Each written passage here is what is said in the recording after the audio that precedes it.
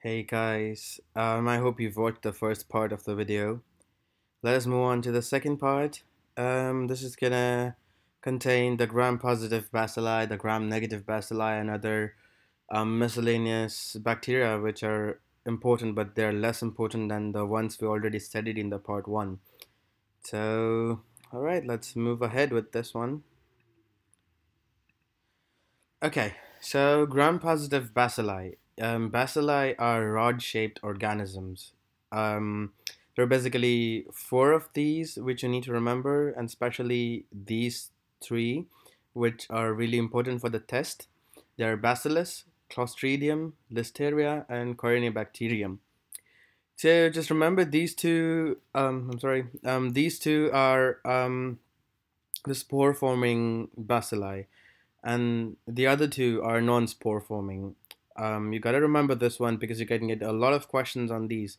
Like which of the following is spore forming? Which of them does not form spores? And you're going to have some of the other from these options. So that you got to remember which one forms spores and which one doesn't. So maybe if you write it down on a piece of paper for five six times then probably you'll remember it. Or if you find out some trick or something do let me know because i couldn't find one. Okay. Corynebacterium diphtheriae this is a non-motile organism. One thing which you gotta remember about this, it, it is club-shaped. Just remember, Corynebacterium diphtheriae is club-shaped. It causes upper respiratory tract infections, and one of the most common one is called diphtheria. what happens in diphtheria is it's it's gonna cause it. Uh, the typical feature for diphtheria is the presence of a pseudomembrane. And what's a pseudomembrane? It's on the back of the oropharynx near your your soft palate region and those those areas, there's gonna be necrotic, whitish to grayish colored, you know, um, slough-like tissue that's that's that's called a pseudomembrane that's gonna form. This is a typical feature of diphtheria, and this can be fatal because if it if it grows in size, then it can block the airway. So you know the toxicity of these uh, bacteria is because of the um, toxin it produces, the diphtheria toxin. Now, how is this toxin produced? Um, there's a bacteriophage which gets inside. It puts its own DNA, its its genome and everything inside the bacterium, inside the Corynebacterium diphtheriae, because it undergoes lysogenic cycle, and then you know just kind of remember it like that um, it then produces uh, the toxin. You know, it, it is it is it is encoded by uh, bacterium, uh, a prophage actually. So, um, if you ever see a question where there's um, in the question it's given which of the following organism shows its pathogenicity because of lysogenic cycle or something like because of a prophage or a bacteriophage or something like that, then the answer is going to be diphtheria toxin or Corynebacterium diphtheriae because this is the only organism that we study for the part one which shows this characteristic. So this toxin can reach the heart and cause cardiac failure. I don't think it'd be tested on this one, but just I've just put the point if you could ever have a question on this. The second one is Bacillus. Um, and then specifically in Bacillus, we got to know the Bacillus anthracis, the causative organism for anthrax. Um, the spores of anthra- anthracis are really difficult to kill, and you know they can remain like that in soil or air or whatever for many years. So that was one of the reason in the ancient time it was used. Not I wouldn't say ancient, but back many years ago, um, it was used as a biological weapon in many countries. So just a fun fact. So the anthrax toxin, um, it is actually a combination of three enzymes, and they're the protective antigen, the lethal factor, and the edema factor. You won't be tested much on this one, but I think if you get a question on anthrax toxin or any of these three, then you gotta remember it's produced by Bacillus anthracis. So um, there's another less important one, Bacillus cereus um, this one is present in rice and cereals and it causes food poisoning. So if you happen to eat such infected rice um, with Bacillus cereus, it's going to cause food poisoning. Uh, not much of a deal, but you got to remember this one. Um, if you want to remember cereus, then you know C E R E of cereus and C E R E of cereals. So just kind of remember it like that. And we have the Clostridium. Um, um, this is an obligate anaerobe we study two of the species in Clostridium. One of them is C. perfringens, and the other one is C. difficile, and the third one is C. tetani. So C. perfringens, it's also known as C. welchii. Um, it is famous for producing the enzyme lecithinase, and it's famous to cause gas gangrene or myonecrosis, which you see in severely diabetic patients. Um, now, what happens is it produces lecithinase. So, lecithin- lecithinase or alpha toxin, it's going to lyse the RBC. So, what happens is when C. perfringens, you get an infection with C. perfringens, it releases lecithinase and then it causes lysis of RBC. So, what happens after lysis? You know, RBCs are responsible for transporting oxygen. So, when there's less amount of RBC because they've been lysed, then there's going to be um, you know, um, a problem with the um, transport of oxygen. So what happens is the tissues they become ischemic because they don't get oxygen, and wherever there's ischemia, there's going to be necrosis. So that's how gas gangrene happens. And you got to remember the other name for gas gangrene that's myonecrosis because you can get a question asking about myonecrosis is caused by which of the following organisms. Don't get confused, myonecrosis is nothing but gas gangrene. And it's caused by C. perfringens or C. welchii. Remember these two names because they can confuse you with the other one too. So the second Clostridium which we're to study is C. difficile. It's, it's a normal flora of the bowel, but you know, in favorable conditions is going to attack you. And those favorable conditions for the bacteria are antibiotics. If you happen to take a long-term antibiotics for various things, you can get antibiotic associated diarrhea, and the cause for that is C. difficile. And if you happen to have pseudomembranous colitis, that C. difficile is going to cause pseudomembranous colitis.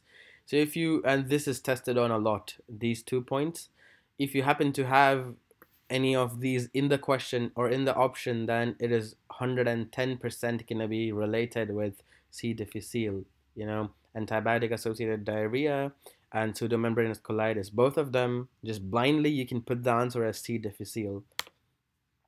Third one, C. tetani. Uh, the famous one to produce tetanus. Um, it produces an uh, enzyme or toxin called tetanospasmin causes spastic paralysis. Uh, what is spastic paralysis? Is the muscles and they they are in a constant contracted state, you know, in a spasm. So and because of that, what happens is the muscles of mastication, especially the masseter, is going to be in a constant um, contracted state. So as we all know, when masseter contracts, it's going to close the primary closure of the mandible. So what happens is going to lock the jaw in that position. That's the reason it's called lockjaw. So if you get a question asking about lockjaw, it's nothing but tetanus. Um, then we have the C. botulinum. This one you can get a few questions about the botulin toxin. Um, that it can be inactivated by heat and it's the most dangerous toxin in the world. You won't get a question about this. It's just a fun fact. One nanogram can kill a human being. Oh, that's really dangerous but you can be tested on this line that's it can be inactivated by heat. You know you can get various different types of questions you, either they can ask you directly or they can put up a case scenario like um you know it, the botulinum toxin c botulinum happens to be around food and infected meat and such stuff. So you know they can get a question format saying that a person ingested some kind of meat and um, after some time, um, you know, he happened to be, you know, in a flaccid paralytic state. So what can be the cause for it? So that's going to be C botulinum or botulin toxin, or they can ask the other way around, like how could he have prevented that? You know, but he could have prevented that if he had actually cooked the food before eating or you know boiled the food before eating. So what's going to happen is when you boil the food which has botulin toxin or which is infected by c botulinum the toxin is going to be inactivated by heat. So you know you can be safe from botulism.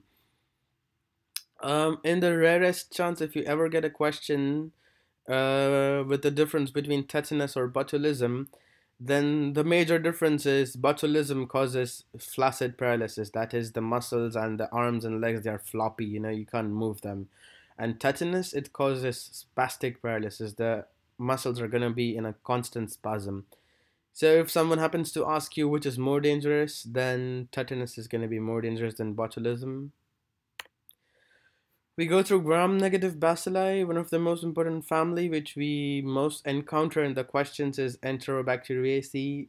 And the two types of organisms are the normal flora which live in which live in your abdomen, your stomach and intestines and all those all those areas, and they're the pathogens.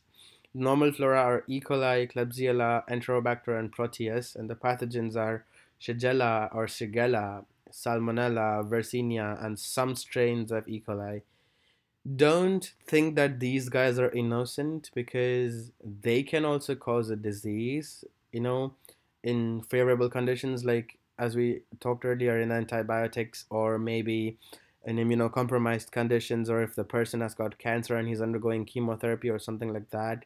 So these guys are not innocent. They can cause problems. Klebsiella is important because it causes um, you know, uh, pneumonia in immunocompromised patients, especially in patients who have AIDS.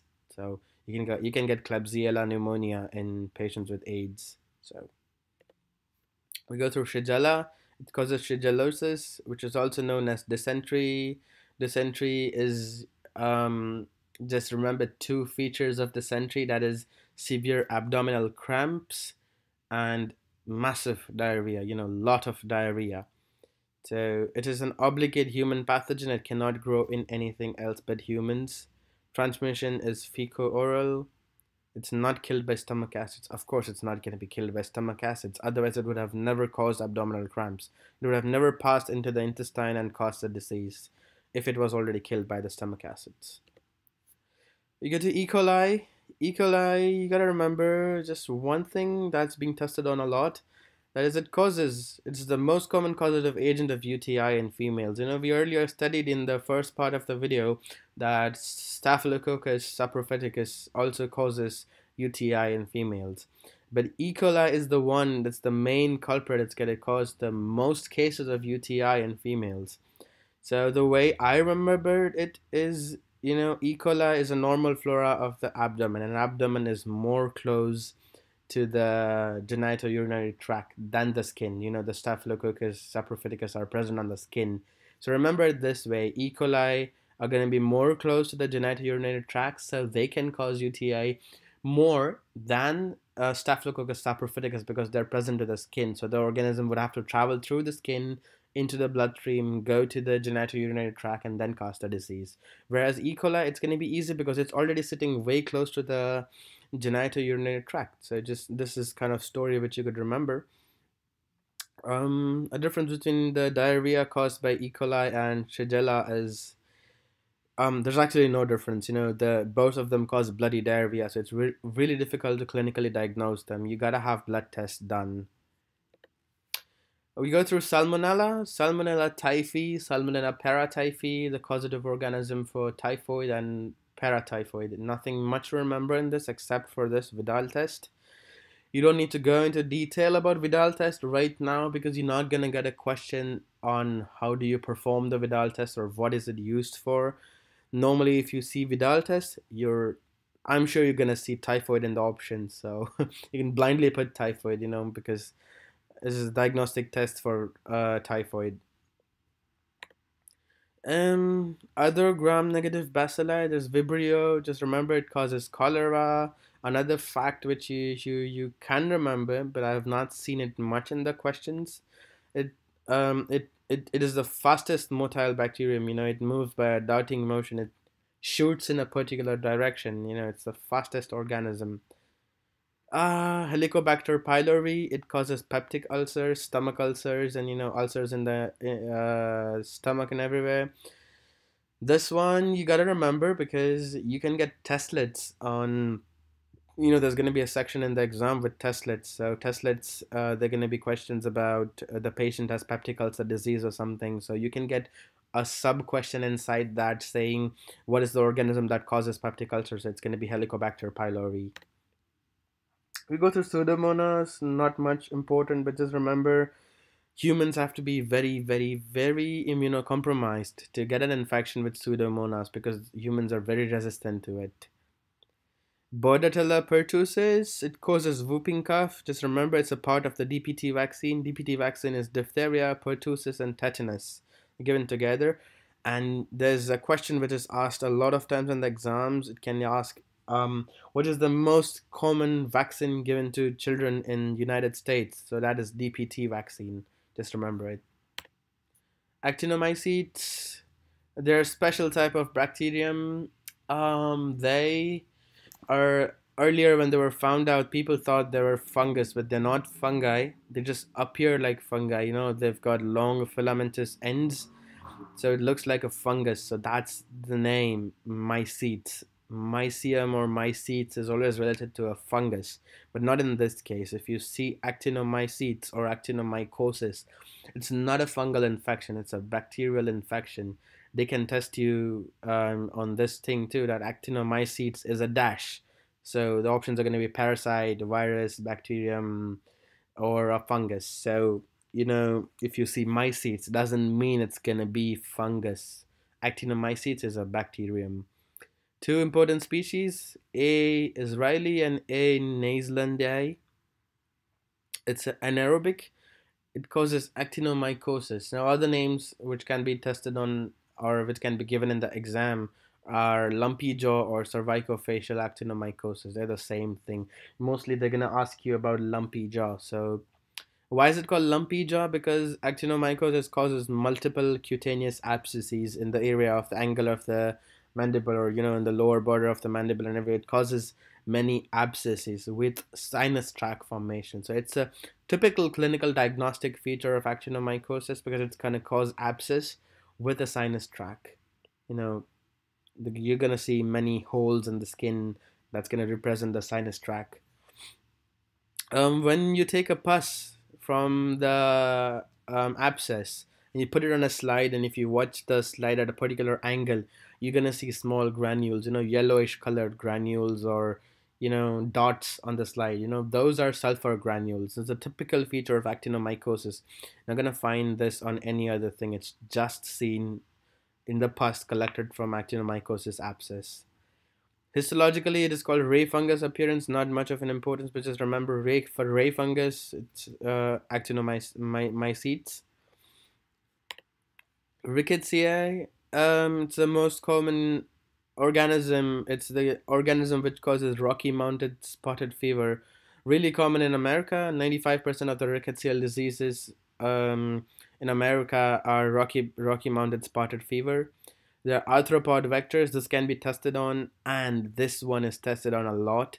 Obligate intracellular parasite rickettsia and chlamydia both of them are obligate intracellular parasites. You get a lot of questions on rickettsia and chlamydia saying, um, are they intracellular parasites or extracellular or they're anaerobic or aerobic or what it is. So just remember rickettsia and chlamydia, both of them are intracellular parasites, obligate intracellular parasites. Coxiella burnetii, just the causative organism for Q fever. Just remember Q fever is caused by Coxiella burnetii. Chlamydia, as we talked earlier, obligate intracellular parasite. An important one, C. trachomatis. It causes infectious, you know, infectious um, cause of blindness. The most common cause of blindness is C. trachomatis. And um, you can get a question on which is the most reported sexually transmitted disease or which is the most common sexually transmitted disease in the United States? And the answer is not going to be gonorrhea or AIDS, it's going to be chlamydia. Chlamydia is the most common and most reported sexually transmitted disease in the United States. Yeah, there are a lot of cases of AIDS, but chlamydia is more common than AIDS and gonorrhea, both. So, spirochetes. Um, one important one is Treponema pallidum, the causative organism for syphilis. These two lines which are different colored over here, they're really important because um, spirochetes, they cannot grow on any culture medium. You cannot take a tissue from the patient, a lesion from the patient, send it to biopsy and expect that it's going to grow on a culture medium. No, it's not going to grow. It does not have any, you know, does not have any particular medium in which it's going to grow. Requires dark field radiography. I mean, I'm sorry, I put radiography. It should be microscopy. Requires dark field microscopy to be observed. Three stages of syphilis. Don't need to get into detail about the other symptoms of syphilis. They're gonna test you about these a lot. What happens in the primary syphilis, secondary syphilis, and tertiary syphilis. So primary syphilis, um, the lesion is called a chancre. It's a painless ulcer. You can see it on your penis or near your vagina uh, the genital tract, you know, um, the secondary stage of syphilis, there's maculopapular rash, especially on the torso, your chest and back. And the typical lesion, other lesion is called the condyloma lata. Um, and this is the most infectious stage of syphilis. You know, you can get a question on that too. This is uh, the most infectious stage of syphilis, the secondary stage. The tertiary stage, it's the lesion is called the gumma. The other types of syphilis are congenital syphilis and neurosyphilis. Congenital syphilis is the baby gets it when the mother already has syphilis and she gives birth to a baby, so it's gonna transmit to the baby vertically. So that is congenital syphilis.